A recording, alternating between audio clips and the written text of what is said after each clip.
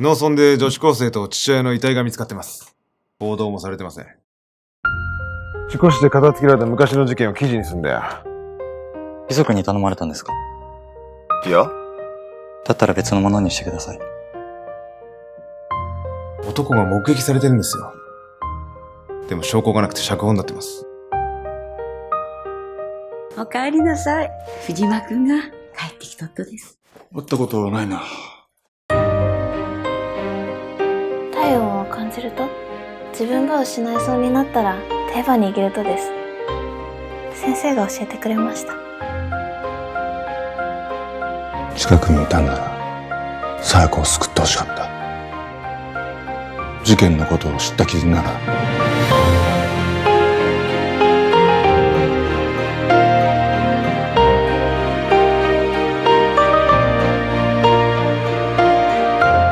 私たちが必要なのは藤間さんじゃなか。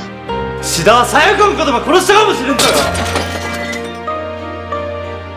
人の中にはいろんなものが入り込んでくるけん。すぐに自分ば失うとです